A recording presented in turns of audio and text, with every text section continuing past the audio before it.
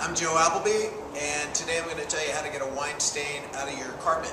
Now, this is a wine stain that's been on there. Uh, put it on a couple days ago.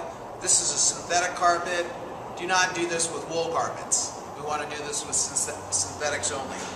So, let's get started. First of all, you can buy products like Wine Away at Target or Amazon, uh, at Bevmo. They work fairly well, but I'm going to show you how to make it from scratch. You're going to need two products. One is hydrogen peroxide. I got the 20 volume. You can buy it at Sally's Beauty Supply. That's one. The other is some clear ammonia. What the ammonia does is it accelerates the action of the hydrogen peroxide. So I'm going to fill this container with some hydrogen peroxide. And I'm going to put a little bit of ammonia in here to accelerate it. I like to go about 5 to 1. Doesn't have to be exact. We'll mix it up. And once I put it on the wine stain, I want to give it a little bit of dwell time.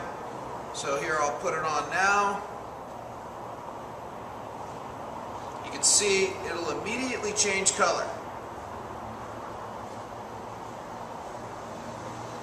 Many times it'll come right out. If it doesn't, we'll wait. Let's give it about two or three minutes and then we'll go ahead and rinse it out. Okay, we're back, and we're going to go ahead and rinse out the wine stain as well as some of the yellow. Now I'm going to cheat. I have a handy dandy tool here because I am a carpet cleaner. Uh, you could use water and blot it with a towel. Don't be afraid to use a lot of water. Won't hurt. So let's turn this on. I'm going to flood it out.